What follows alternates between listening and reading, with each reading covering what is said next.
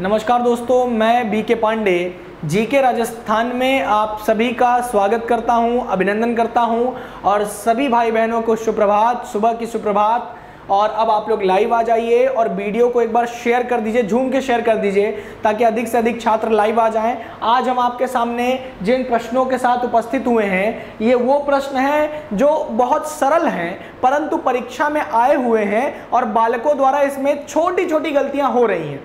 हम ये नहीं कहेंगे कि ये प्रश्न रिपीटेड है, परंतु हम ये कहेंगे कि यहाँ पर बच्चा गलती करके आ रहा है। इसलिए हम इन प्रश्नों को यहाँ पर स्थान दे रखे हैं। चलिए देख लीजिए, आज ये प्रश्न आपके सामने होने वाले हैं। इन्हीं प्रश्नों के माध्यम से आज हम आपके सामने उपस्थित हुए हैं और यही प्रश्न आज हम आपको करवाएँगे।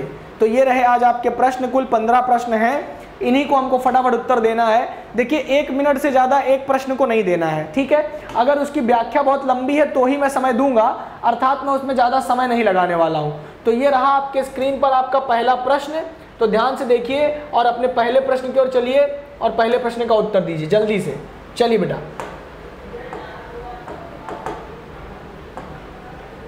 ये रहा आपका पहला प्रश्न आपके स्क्रीन पर। उत्तर दीजिए। प्रश्न पूछ रहे हैं निश्चल शब्द में। निश्चल शब्द में शुद्ध विच्छेदित करिए। निश्चल को संधि विच्छेद आपसे पूछा जा रहा है। निश्चल का संधि विच्छेद करके दिखाइए। कुल मिलाकर के प्रश्न इस बात का है कि आप निश्चल का संधि विच्छेद कर लेंगे कि नहीं कर लेंगे? तो निश्चल का संधि विच्छेद आपको करके दिखाना है। तो निश्चल का संधि विच्छेद करके दिखाइए सभी भाई बहन यहाँ पर शुद्ध विच्छेदन करना है। चार विकल्प है, निधन चल, निस्धन जल, निस्धन चल, निधन चल। चार विकल्प है, सभी भाई बहन उत्तर दीजिए। विकल्प है, प्रश्न है आपका, निश्चल शब्द में संधि विच्छेद बताना है। बताइए। मैं आप सभी का स्क्रीन पर उत्तर देख रहा हूँ। उम्मीद है आप सभी मेरे भाई बहन लगातार उत्तर देंगे। तो जल्दी से उत्तर दीजिए और मैं स्क्रीन पर देख रहा हूँ बेटा। जल्दी से उत्तर दीजिए सभी भाई बहन एक मिनट से ज़्यादा एक प्रश्न को बिल्कुल समय नहीं देना है, क्योंकि इतना समय है ही नहीं। जल्दी से उत्तर देना है, बिल्कुल वक्त नहीं जाया करना बेटा। चलो, अब देख लो, निश्चल में क्या है बेटा? विकल्प ए बिल्कुल सही है। विकल्प ए क्या कह रहा है? विकल्प ए कहता है, निश्चल में निधन चल। अर्थात कौन सी संधि बच्चे? विसर्ग संधि। कौन सी संधि बालक? विसर्ग संधि है। यानी कि निश्चल में कौन सी संधि? विसर्ग संधि है, ठीक है? तो आप क्या बताएँगे? निश्चल में विसर्ग संधि है, ठीक है बच्चा? तो निश्चल में पहला विकल्प सही हो गया। आइए अपने अगले प्रश्न की ओर चलते हैं। हमारा अगला प्रश्न आपके स्क्रीन पर, परोपकार शब्द में कौन सी संधि है? परोपकार शब्द में कौन सी संधि है? जल्दी से उत्तर दीजिए। परोपकार शब्द में कौन सी संधि है बेटा? उत्तर दीजिए। प्रश्न है परोपकार शब्द में संधि बताना है आपको। कौन सी संधि है? विसर्ग संधि, गुण संधि, वृद्धि संधि, यण संधि। और परोपकार का आपको विच्छेद भी बताना है। इसका आपको संधि विच्छेद भी बताना है। तो इसका संधि विच्छेद भी बताइए और यह भी बताइए कि कौन सी संधि है। बिल्कुल, बहुत ही कम समय में हम आपको प्रश्न करवाएँगे। बिल्कुल समय आपका ज़ाया नहीं होने देंगे। और आप सभी को जल्दी जल्दी उत्तर देना है। बिल्कुल समय नहीं खराब करना। हमने पूछा, परोपकार शब्द में कौन सी संधि है बच्चे? तो आप बताइए, विसर्ग संधि, गुण संधि, वृद्धि संधि यण संधि? जल्दी से बताएँ। परोपकार बना है, परधन उपकार। कैसे बना बेटा?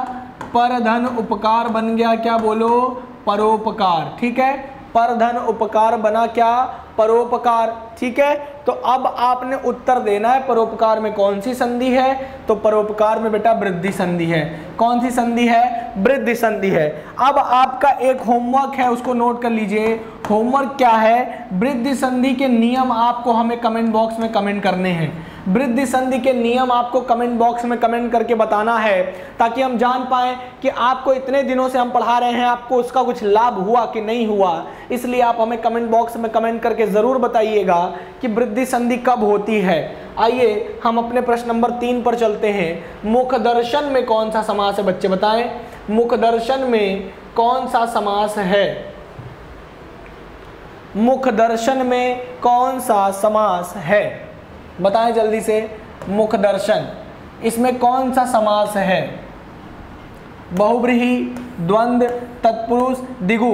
लगभग छः से सात बार इस प्रश्न को रिपीट किया गया है और मैंने खुद इस इस प्रश्न को कई बार करवा भी दिया है तो उम्मीद करते हैं कि आप इसका उत्तर बहुत अच्छे से दे पाएँगे।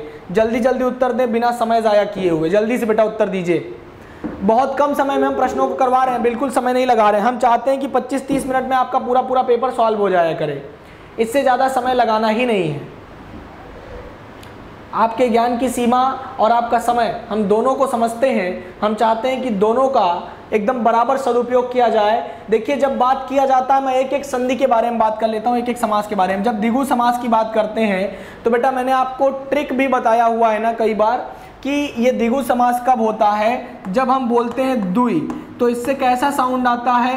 दो। और ये दो क्या है बच्चा? एक संख्या है। क्या है बोलो बेटा, एक संख्या है। और जब दो एक संख्या है तो हमने आपको बताया ना कि जिस समास का पहला पद संख्यावाची होता है, उसे हम दिगु समास के नाम से जानते हैं। तो जिस समास का पहला पद संख्यावाची,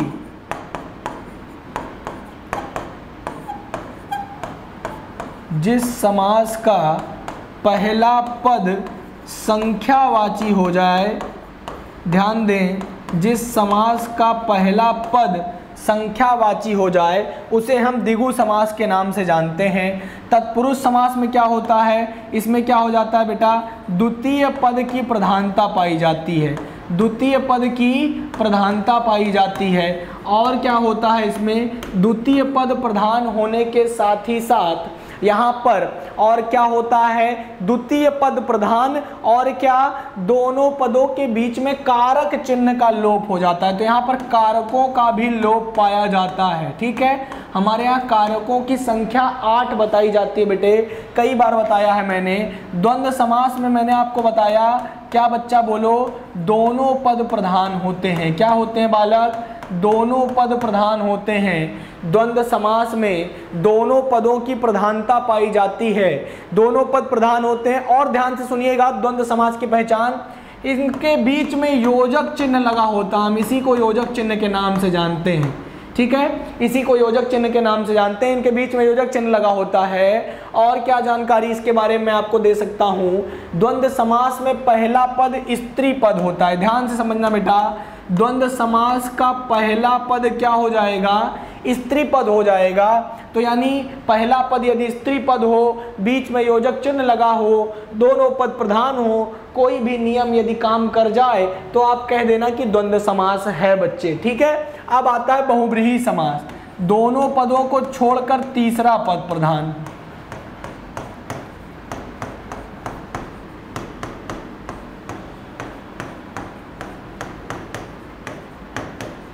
दोनों पदों को छोड़कर तीसरा पद यदि प्रधान हो जाए तो आप क्या कहेंगे? वहाँ बहुब्रीही समास है। इसलिए हमारे चारों के विकल्पों के बारे में मैंने आपको बता दिया।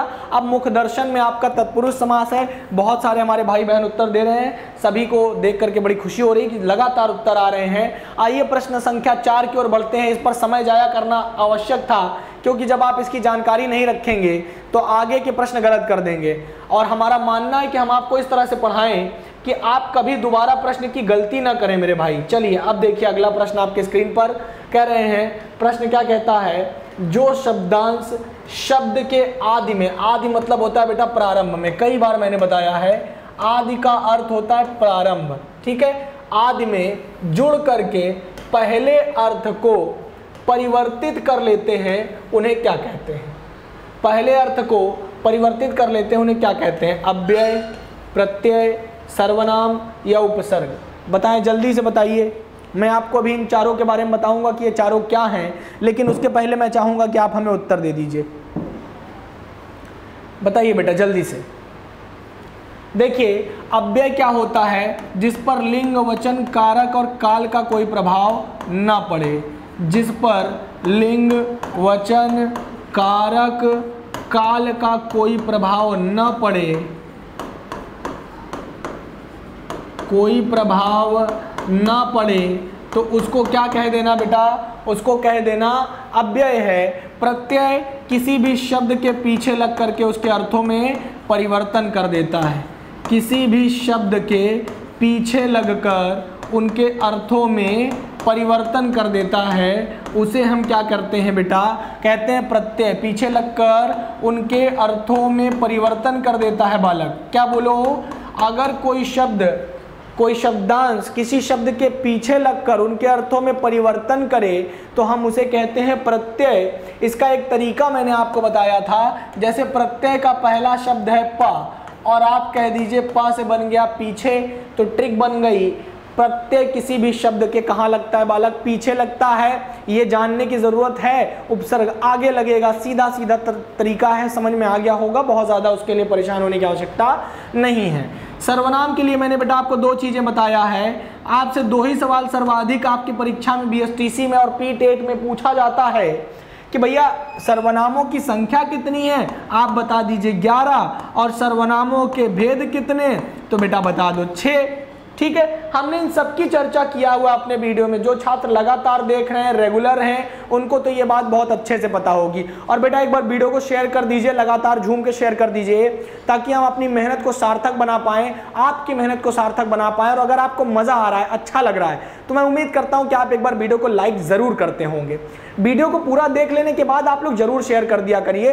बीच बीच में भी शेयर करते रहा करिए। जैसे आपको मौका मिले, वीडियो शेयर कर दीजिए। ताकि देखिए, विद्या क्या है ना, बांटने की चीज़ है। जब आप इसको जितना बांटेंगे, आपको उतना ही अर्जन होगा इसका, ठीक है? चलिए, अब देखिए, उपसर्ग की बात हो रही है। तो ये क्या लगता है? किसी भी शब्द के आगे लग करके उनके अर्थों में परिवर्तन कर देता है बच्चा, ठीक है? अब देखो बेटा, एक बात ध्यान समझो।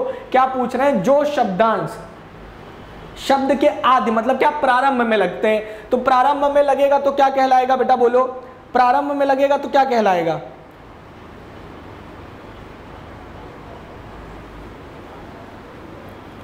प्रारंभ में लगेगा तो उपसर्ग कहलाएगा। बहुत अच्छे लगातार उत्तर आ रहे हैं। और अगर पीछे लगेगा, अंत में लगेगा तो कहा?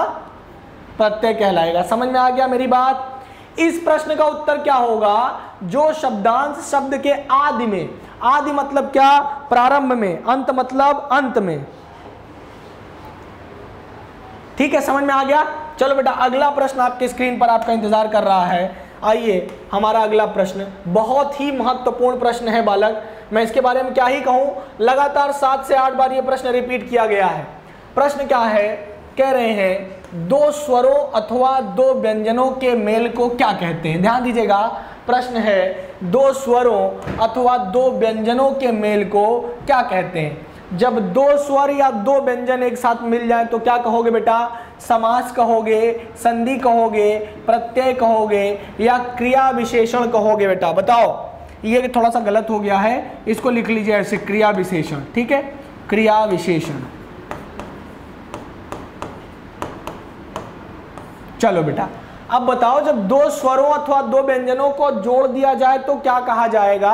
यानी जहाँ पर भी दो स्वरों का मेल हो अथवा दो व्यंजनों का मेल हो, वहाँ क्या होता है बालक? बताएँ जल्दी से। चार विकल्प है। समास है, संधि है, प्रत्यय है क्रिया विशेषण है। जल्दी जल्दी वीडियो को एक बार शेयर कर दीजिए सब लोग। संख्या 300 पहुंचाना है आज। संख्या 300 मैं आपसे रोज कह रहा हूँ। संख्या 300 पार नहीं हो पा रही है। 280 90 तक पहुँच के रुक जाते हैं आप लोग। आज संख्या 300 पार होना ही चाहिए। सभी भाई बहन एक बार वीडियो को शेयर कर दीजिए। और अब तो रक्षाबंधन आ चुका है। तो मैं चाहूँगा कि आप लोग वीडियो को इतना शेयर करिए कि हमारे भाई बहन होने का आपको फ़र्ज़ अदा करना है। ठीक है? तो आपको वीडियो को खूब शेयर करना है लगातार। चलिए, अब मैं आपको सबके बारे में जरा थोड़ी थोड़ी बातें बता देता हूँ। समाज का जो हम विच्छेदन करते हैं ना तो समाज का जो परिवर्तन होता है उसको हम विग्रह कहते हैं। समाज का विग्रह किया जाता है विच्छेद नहीं। संधि का हम क्या करते हैं? संधि का हम विच्छेद करते हैं इसका विग्रह नहीं करते। यहाँ से दो प्रकार के प्रश्न आपकी परीक्षा में सर्वाधिक पूछे गए हैं बेटा। पूछा गया है समाज का विग्रह यानी समाज का विलोम क्या होगा? आप बता दीजिएगा विग्रह होगा। और यदि पूछ ले संधि का आ, आ, विलोम क्या होगा? आप बता दीजिएगा। विच्छेद होगा, ठीक है? बहुत आसान आसान प्रश्न है। प्रत्यय मैंने अभी बता ही दिया। पा से प्रत्यय, पा से पीछे, किसी भी शब्द के पीछे लगकर उनके अर्थ परिवर्तन कर दे। प्रत्यय कहलाता है। और दो स्वरों और दो व्यंजनों का मेल। जरा समझिएगा, हम इसका उत्तर संधि को मानते हैं। ये आपका आयोग ने इसको संधि कहा। बिल्कुल सही भी कहा, बहुत सारे छात्रों का उत्तर आया भी, लेकिन बहुत सारे छात्रों को हवा नहीं लगी कि उत्तर कैसे होगा और तुक्का मारने में लगे हुए थे। जरा समझिए मैं समझाता हूँ कैसे होगा। संधि की जब बात करते हैं तो संधि के हम तीन भेद मानते हैं ना। पहला क्या बेटा बोलो? स्वर संधि। दूसरा क्या बेटा बोलो? व्यंजन संधि। तीसरा बालक क्या होगा? विसर्ग संधि होता है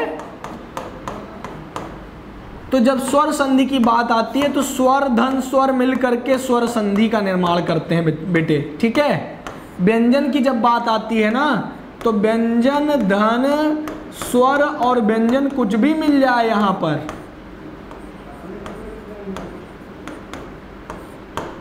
स्वर और व्यंजन कुछ भी मिल जाए तो यहाँ पर व्यंजन संधि हो जाती है। और विसर्ग में विसर्ग, धन, स्वर या व्यंजन कुछ भी मिल जाए तो वहाँ पर क्या हो जाता है बेटा?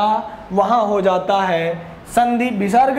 तो अब मैं आपको सिद्ध कर पाया हूँ ना, मैंने सिद्ध करके भी दिखाया। बहुत से लोग यूट्यूब की दुनिया में प्रैक्टिस करवाते हैं। क्या कोई सिद्ध करके दिखा सकता है? क्या चीज़ कैसे उत्तर हो रहा? मैंने आपको ये चीज़ प्रूव करके दिखाया कि संधि उत्तर कैसे है। अब क्या आपके जहन से इस प्रश्न को कभी आप गलत करेंगे? नींद में भी गलती नहीं होगी बेटा। वीडियो को खूब शेयर करिए, ज़बरदस्त। और अगर अच्छा लग रहा है, मज़ा आ रही है तो लाइक करते चलिए वीडियो को। चलिए बेटा, अब देखिए, अगला प्रश्न। नाक रगड़ना का क्या अर्थ होता है, बताइए।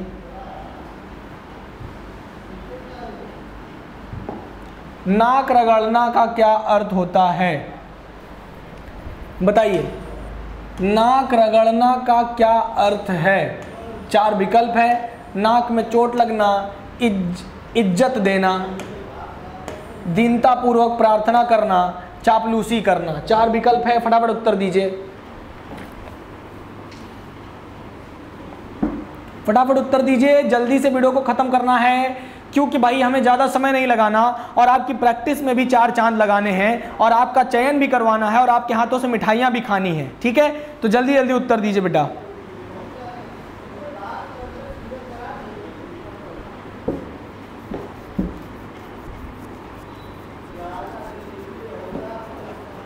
नाक रगड़ना का क्या अर्थ है? दीनता पूर्वक प्रार्थना करना। क्या उत्तर हो जाएगा? दीनता पूर्वक प्रार्थना करना, इस मुहावरे का अर्थ है नाक रगड़ना, यानी दीनता पूर्वक प्रार्थना करना। अगला प्रश्न, उन्मूलन का विलोम। भाई, बहुत बार इस प्रश्न को परीक्षा में पूछा गया है। उन्मूलन का विलोम बताइए। उन्मूलन का विलोम क्या होगा? उन्मूलन का विलोम बताना है बच्चे आपको। उन्मूलन का उत्थान, उत्कर्ष, रोपण, अवनति। मैंने इसको most most most most important question के तौर पर आपको कई बार नोट कराया है।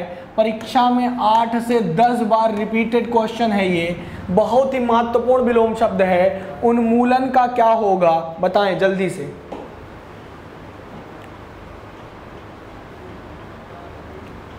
उन्मूलन का विलोम क्या होगा? फटाफट उत्तर दीजिए सब लोग और वीडियो को शेयर करते रहिए, ताकि ज़्यादा से ज़्यादा छात्रों तक हम पहुँच पाएँ और हमारी प्रभात की बेला में की गई मेहनत सार्थक हो। आपके सामने हम प्रभात बेला में आते हैं बेटा, लेकिन हम इसके लिए पूरी रात्रि मेहनत करते हैं। हमारे टाइपिस्ट हमारी टीम इसके लिए लगातार मेहनत करती है तो आप एक बार हमारी टीम को भी इसके लिए धन्यवाद कर सकते हैं। हमें भी धन्यवाद कर सकते हैं। निःशुल्क हम आपके लिए इतनी मेहनत कर रहे हैं। और आप भी हमारे साथ मेहनत करते चलिए तो क्या बात है? तब तो चार चाँद लग जाएँ। हम केवल आपका सिलेक्शन चाहते हैं। हम चाहते हैं कि हमारे भाई बहन चयनित होकर के राजस्थान के सरकारी विद्यालयों में एक अध्यापक के तौर पर अपनी ख्यात विकसित करें। और जब कोई आपसे पूछे कि कहाँ से पढ़ा तो बताइएगा, जी के राजस्थान के चैनल से। इन इन अध्यापकों के साथ हमने अध्ययन किया था और बहुत ही बेहतरीन उन लोगों ने पढ़ाया था। क्या ज़बरदस्त मेहनत किया था और हमारा चयन सुनिश्चित करा दिया। हम आपके साथ मिठाई खाने ज़रूर आएँगे, बेटा। चलिए। उन्मूलन का बेटा हो जाएगा रोपण। विकल्प सी एकदम मेरे भाई बहन सभी लोग ध्यान से सुने, क्या हो जाएगा? उन्मूलन का हो जाएगा बेटा रोपण, या उन्मूलन का कहीं कहीं निमीलन भी होता है तो दोनों सही है। उन्मूलन का रोपण, उन्मूलन का निमीलन, दोनों सही है बेटा, ठीक है? दोनों उत्तर बिल्कुल सही है। एकदम आप एकदम पूरी स्फूर्ति के साथ, ताकत के साथ बता दीजिए, एकदम भाई उत्तर सही है। आप देखिए, साहित्य का भी एक प्रश्न मैंने आज आपके सामने रखा है। देखते हैं कौन कौन भाई लोग उत्तर देते हैं। बड़ा महत्वपूर्ण प्रश्न है जो छात्र हमारे के की भी परीक्षा देना चाहते हैं, भविष्य में डी ट्रिपल एसबी भी देना चाहते हैं रीट कॉलेज व्याख्याता की भी परीक्षा देना चाहते हैं, वहाँ पर साहित्य के भी कुछ कुछ प्रश्न आते हैं तो हम थोड़ा थोड़ा आपको अभी से पिंच करना शुरू कर रहे हैं, तैयार करना शुरू कर रहे हैं। इस प्रश्न का उत्तर दीजिए। महावीर प्रसाद द्विवेदी ने आदिकाल को किसकी संज्ञा दिया? बेटा बताएँ। महावीर प्रसाद द्विवेदी ने आदिकाल को किसकी संज्ञा दिया? चारण काल आदिकाल वीरकाल या बीजवपन काल बताओ बेटा, महावीर प्रसाद द्विवेदी ने आदिकाल को क्या कहा था? महावीर प्रसाद द्विवेदी ने आदिकाल को क्या कहा बताएँ? मैं देखना चाह रहा हूँ कौन कौन से विद्यार्थी उत्तर देते हैं।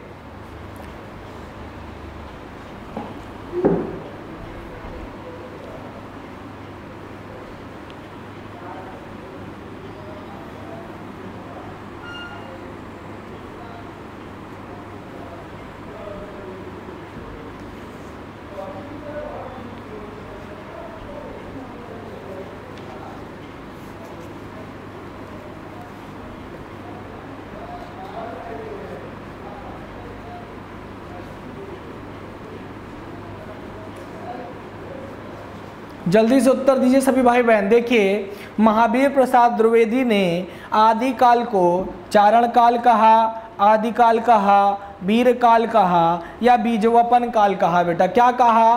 तो महावीर प्रसाद द्विवेदी ने आदिकाल को बीजवपन काल की संज्ञा दिया, बेटा। क्या बोला?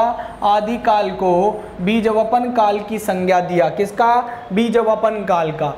एक और प्रश्न आपके सामने है। देखते हैं कितने छात्र उत्तर देते हैं। थोड़ी सी तो तैयारी में आपके चार चाँद लगाएँगे। और साहित्य के भी प्रश्न कभी कभी परीक्षा में पूछे जाते हैं। दो से तीन प्रश्न कभी कभी साहित्य के पूछ लिए जाते हैं, नियमावलियों से इतर करके भी। अतिसूधो स्नेह को मारग है।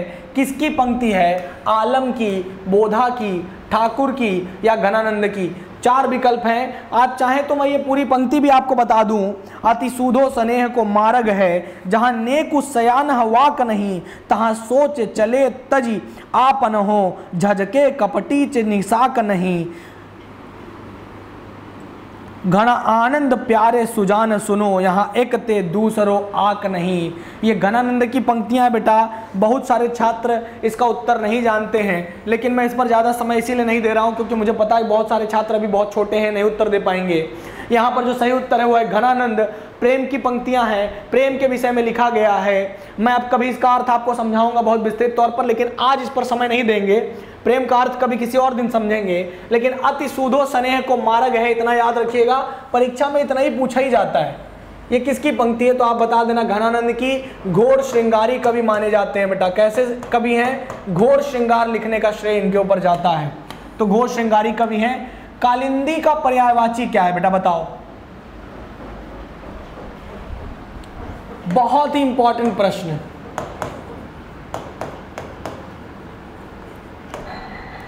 कालिंदी का पर्यायवाची बताइए। सरस्वती, लक्ष्मी, गंगा, यमुना।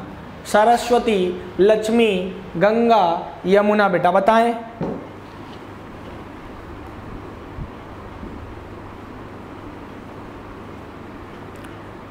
जल्दी से बताइए, बहुत ही ज़बरदस्त प्रश्न आपके सापेक्ष है, उत्तर दीजिए।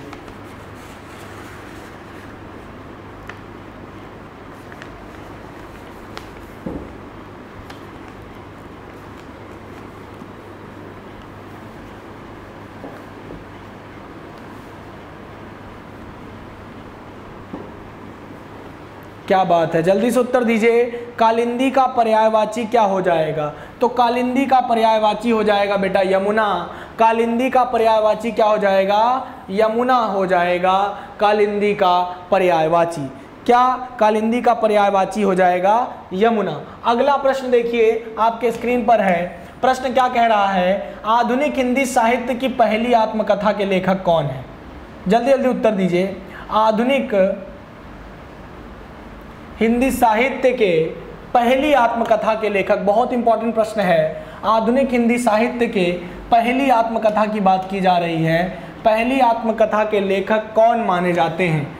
आधुनिक हिंदी साहित्य के पहली आत्मकथा के लेखक बापू श्याम सुंदर दास, देवेंद्र सत्यार्थी, हरिशंकर बच्चन या जयशंकर प्रसाद। चार विकल्प हैं। जल्दी से उत्तर दीजिए। बहुत ही धुआंधार प्रश्न है बेटा। क्या बात है? हरिवंश राय बच्चन इसके उत्तर सही हैं। हरिवंश राय बच्चन हो जाएगा। कॉपी में नोट करते चलिए। जिन साहित्य के प्रश्नों को मैं करवा रहा हूँ, ऐसे ही नहीं करवा रहा हूँ। आपका समय नहीं जाया करने वाले हैं हम। आप जानते हैं कि हम आपके साथ लगातार मेहनत करते हैं। तो साहित्य का प्रश्न होने का मतलब कि परीक्षा में कहीं ना कहीं से पूछा गया है, आपके लिए यूजफुल है, महत्वपूर्ण है। तब हमने आपके सामने रखा है। भाई, समझने की कोशिश करो। तभी तो रखा गया है मेरे भाई। अब चलिए, अगला प्रश्न आपकी स्क्रीन पर। कार्य के आरंभ में ही विघ्न पड़ना, किस मुहावरे के लिए सही है ये? कार्य के आरंभ में ही विघ्न पड़ना, बताइए। कार्य के आरंभ में ही विघ्न पड़ना किस मुहावरे का अर्थ है? सिर मारना, सिर पर सेहरा बना होना, सिर मुड़ते ही ओले पड़ना, सिर पर शैतान सवार होना। बताओ, कार्य के आरंभ में विघ्न पड़ना किस मुहावरे का अर्थ है? बच्चे बताएँ।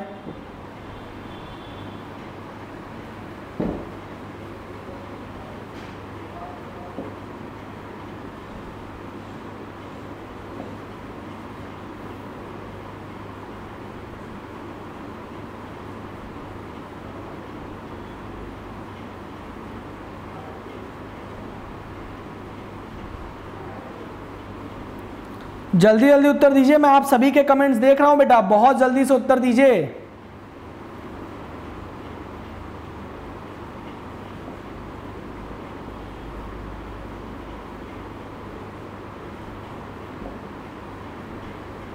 चलिए, हमने पूछा, कार्य आरंभ होते ही विघ्न पड़ना, यानी सिर मुड़ाते ही ओले पड़ना, इस प्रश्न को मैंने करवाया भी था। ये मोस्ट मोस्ट इंपॉर्टेंट प्रश्न है और लगातार परीक्षा में रिपीट किया गया है। अगला प्रश्न बेटा, किस कवि को कवियों का कवि कहा जाता है? किस प्रश्न को, किस कवि को कवियों का कवि कहा जाता है? बताइए। किस कवि को कवियों का कवि नोट कर लीजिएगा, कवियों का कवि किसे कहते हैं? बताएँ।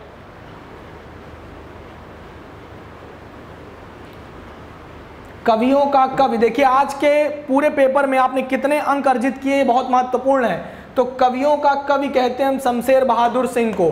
शमशेर बहादुर सिंह को हम कवियों का कवि कहते हैं। बहुत तेज तेज उत्तर दीजिए, समय नहीं लगाना बेटा। चलिए, अगला प्रश्न। दशरथ सुहत्य लोक बखाना, राम नाम का मनम मरम है आना। ये किस रचनाकार की कवि है? दशरथ सुत तिहु, लोक बखाना, राम नाम का मरम है आना। किस कवि की रचना है? तुलसीदास, कबीर, केशवदास या सूरदास? मेरे भाई, ये कबीर की रचना है। कबीर की रचना देखते ही समझ में आ जाती है। इनकी तीन महत्वपूर्ण रचनाएँ हैं, साखी, सवध रमैनी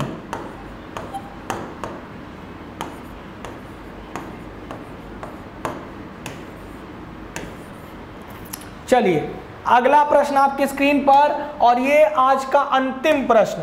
प्रश्न संख्या पंद्रह, हिंदी का पहला पत्र कौन सा है? हिंदी का पहला पत्र कौन सा है? जल्दी से उत्तर दीजिए। हिंदी का पहला पत्र कौन सा है? बताएँ। पहला पत्र कौन सा है?